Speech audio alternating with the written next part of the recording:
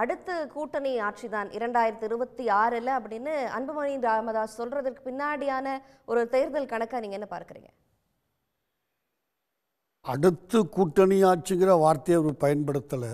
இருபத்தி ஆறு கூட்டணி ஆட்சியில் நாங்கள் பங்கு பெறுவோம்னு சொல்கிறார் அது அவருடைய அடுத்து வரப்போற தேர்தல். இருபத்தி ஆறுன்னு சொல்கிறார் இருபத்தி ஆறு கூட்டணி ஆட்சியில் நாங்கள் பங்கு பெறுவோம். அது கூட நான் அந்த பேட்டியை தொடர்ந்து கவனித்தேன் ஏதோ பேட்மிண்டன் டோர்னமெண்ட்டை பற்றி ஒரு வேறு ஏதாவது கேள்விகள் இருக்கிறதான்னு இவர் கேட்டு அந்த கேள்வியை வாங்கினார். அவங்களா இப்போ வேணால் போட்டு பாருங்க உங்களுக்கு இப்போ உங்களால் பார்க்க முடியும். அவங்க யாருமே முதல்ல அது ஒரு பேட்மிண்டன் இஷ்யூ அதில் ஸ்டேட் மினிஸ்டர் இன்னும் ரெண்டு இது வேணும் அதெல்லாம் தப்பு கிடையாது. நான் அகில துறை இந்திய துறைத் தலைவர் தமிழ்நாட்டினுடைய தலைவர் அந்த ஹோதாவில் தப்பே இல்லை. அதோடு ஆக்சுவலாக யாரும் அடுத்த கேள்வியே கேட்கல. இவர் வேறு ஏதாவது கேள்வி இருக்கிறதான்னு கேட்டு அப்புறம் அந்த கேள்வி வந்துச்சு. இவர் சொன்ன பதில் இதுதான் ரெண்டு விஷயம். இன்னும் ஒரு அட்லீஸ்ட் பதினஞ்சு பதினாறு மாதம் இருக்குது மிக நிச்சயமாக இன்னும் ஒரு ரெண்டு மாத காலத்தில் உள்ளாட்சி ஊராட்சி தேர்தல் வரப்போகுது. பதினேழு மாவட்டங்களுக்கு. அதில் யார் என்ன நிலைப்பாடு எடுக்கிறாங்க? மக்கள் என்ன நிலைப்பாடு எடுக்கிறாங்கங்கிறது ஒரு கிராண்ட் ரிகர்சல் அது. அதை பதினஞ்சு மாதம் தள்ளி போட முடியாது. இதுக்கு பிறகு தள்ளி போட சட்டசபை தேர்தலுக்கு பிறகு அதை தள்ளி போட முடியாது. அது வந்துடும் என்ன ரெண்டு மாதம் தள்ளி போடலாம். அது கவர்மெண்ட்டுக்கு பவர் இருக்குது ஒரு கோர்ட்டில் கொடுத்தா கூட ஜ- நம்ம ஜட்ஜஸ் சந்தோஷமாக ஸ்டே கொடுத்துருவாங்க. போன தடவை கொடுத்தாங்க அப்படி தான் அதனால் ஆனால் அதை தாண்டி அல்ல. அதுலேயே யாராருங்கிறது தெரிஞ்சிடும் சரி. திரு அன்புமணி ராமதாஸ் எந்த கூட்டணியில் பங்கு பெறுவதாக சொல்லுகிறார்? அவர்கிட்ட யாராவது பேசுனாங்கன்னு சொல் எனக்கு புரியலம்மா. கேட்ட கேட்டாங்க. அப்போ யாரோட கூட்டணி அப்படின்னு கேட்டப்போ வெற்றி கூட்டணியில நாங்க இருப்போம் அப்படிங்கிறார். தோல்வி கூட்டணியில் எந்த முட்டாளாவது இருப்பானாம்மா. இதை ஒரு இப்போ டாக்டர் முன்னாள் அமைச்சர் சொல்லணுமா? நானும் அதாம்மா சொல்லுவேன். அது மன்னிச்சுக்கோங்க. யார் அவரை கூப்பிட்டாங்க? நான் ப்ரப்போஸ் பண்ணுறேன் என் தலைமையில் கூட்டணி சொல்லியிருந்தாருன்னா அது வேறு இஷ்யூ இல்ல இப்போ எடப்பாடி பழனிசாமி அவர்களும் நாங்க ஒரு மெகா கூட்டணி அமைப்போம் ராஜதந்திர முறையில நாங்க ஸ்ட்ராட்டஜிஸ்லாம் வகுப்போம் அப்படின்னு சொல்றாங்க. மெகா கூட்டணி இப்போ சொன்னாராம்மா சொல்றார் இரண்டாயிரத்தி இருபத்தி ஆறுல அமைப்போம் இப்போ இருபத்தி ஆறில் அந்த வார்த்தையை சொல்லியிருக்காரா. மெகா சரி அவர் எதிர்க்கட்சி தலைவர் அந்த அதிகாரம் அவருக்கு இருக்கு. வைக்கிறேன்னு தவறு ஒன்றும் இல்லை இது யாரு? திரு அன்புமணி ராமதாஸ் இந்த எந்த கூட்டணி? நிச்சயம் இவர் தலைமையில் இல்லை. அதை தெளிவுபடுத்திட்டாரு. கூட்டணியில் பங்கு இருப்போம் பங்கு பெறுவோம்னு சொன்னால் இவர் தலைமையில் இல்லை. நான் ரொம்ப கிளியராக இருக்கு அதில். ஒன்று எந்த கூட்டணின்னு அவர் சொல்லலை. யார் பேசுகிறாங்க யார் பேசலை. இது அப்ப என்ன எதிர்பார்ப்பு சார் அப்படின்னு அடிப்படையில? இப் இதுலேருந்து கிளம்பலாம்ல. கூட்டணி வரேங்கிறாரு ஒருன்னுட்டு இதை தானே விஜய் பண்ணார். நாங்கள் பெரிய அளவாக்க ஜெயிப்போம்.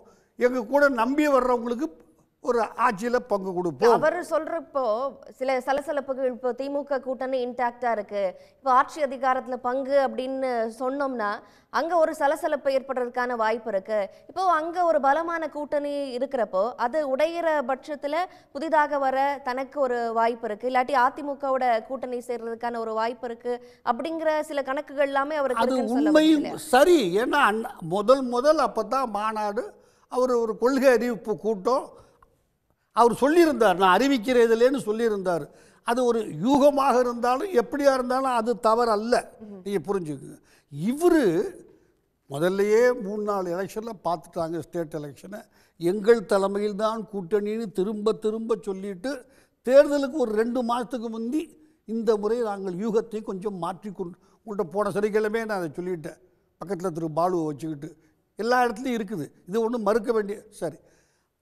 ஏன் கேட்குறேன்? மாற்றம் முன்னேற்றம் அன்புமணியோட அப்டேட்டடான வருஷன் அல்ல அதுக்கு முதல் ஏர்லியர் இன்னும் ஏர்லியராகவே அது அதுவும் இருந்துச்சு. இல்ல, ஓத்தெடுத்தார் பல எக்ஸ்பெரிமெண்ட் பண்ணியிருக்காங்கல்ல இப்போ கழகங்களோட கூட்டணி தனியா நாங்க தான் வந்து முதலமைச்சர் வேட்பாளர் அப்படின்னு தனித்து களம் கண்டது. இப்போ வந்து கூட்டணி ஆட்சி அப்படின்ற ஒரு புது எக்ஸ்பெரிமெண்ட் நான் மகிழ்ச்சின்னு தான் சொல்கிறேன் தான் தலைமையில் இல்லை என்பதை அவர் ஒப்புக்கொண்டு விட்டார். அதான் நான் சொல்கிறேன் அது சொன்னது தப்புன்னு ஆனால் ஏன் அதில் எனக்கு சந்தேகம் வருதுன்னா ஒரு நாலு நாளைக்கு முன்னாடி நிறுவன தலைவர் அவர் என்னை பொறுத்தவரை தலைவர்னு ஒருத்தர் கட்சிக்கு எந்த கட்சியாக இருந்தாலும் போட்டுட்டோம்னா அவர் தான் பேசணும்.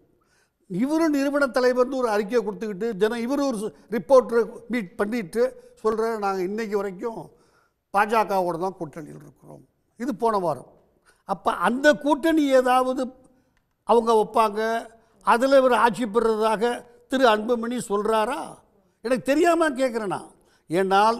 நிறுவன தலைவர் ஒரு வாரத்துக்கு முந்தி சொல்கிறார் இன்றைக்கு ஒரு ப்ரெஸ் ரிப்போர்ட்டில் மீட்டிங்கில் நாங்கள் அந்த கூட்டணியில் தான் இருக்கிறோம். மீதியை அப்போ பார்த்துக்குவோம். இருபத்தி ஆறு தேர்தலை ப அதையும் இதையும் ஒன்றா என்னால் நாலு நாள் டிஃப்ரென்ஸில் கனெக்ட் பண்ண முடியலை. நான் ஒரு பார்வையாளராக தான் அதை ரெண்டையும் கனெக்ட் பண்ணுறதுனா என்னால் முடியலை. அதுக்கு ஒரு விளக்கம் கொடுத்தா தப்பு இல்லை அது ஒன்று அவர் திரு ராமதாஸ் என்ன சொன்னார் ஒரு தலித்த முதலமைச்சராக்கும்னு சொன்னார். எல்லாருக்கும் தெரியும். என்ன ஆச்சு அது? இப்போ ஆக்குவாங்களா? சரி.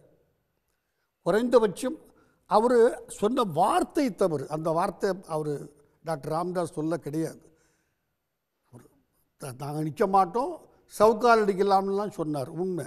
நான் அதிகாரம் உள்ள இடத்தில் கால் வைக்க மாட்டேன்னாரு. அதை அவரே விட்டுட்டு தன் மகனை தலைவராக்கின பிறகு இவர் போகிறாரு ச சட்டசபைக்கு. சிஎம்மை போய் பார்த்து ஜாதிவாரி கணக்கெடுப்பு நடத்துங்க. அந்த கிரெடிட் தனக்கு வேணுங்கிறாரு. தலைவர் யார்? திரு அன்புமணி ராமதாஸ். அவர் போயிருந்தால் அது வேறு. இல்லை அவங்க ஒரு பொதுக்குழு போட்டு இவர் தான் மூத்த தலைவர் இவர் போகட்டும்னு சொல்லியிருந்தாங்கன்னா அது வேற. ஒரு சர்ப்ரைஸாக அந்த கிரெடிட் கூட மகனுக்கு போயிடக்கூடாது. தனக்கு வரணும்னு போறாரு. எங்க? அது பண்ணுவீங்க? செய்ததை நான் சொல்றேன். ஒரு வார்த்தையும் தப்பா பேசல. போனார். நான் பார்த்தேன். டிவியில் time மட்டும் கொடுங்க. அதெல்லாம் தப்பு என்ன இருக்குது? பேசுங்க சார் நீங்க.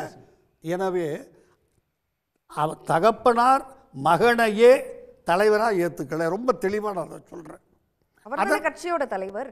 ஆமாங்க ஏத்துக்கலையே. இவர் ஏன் போறாரு?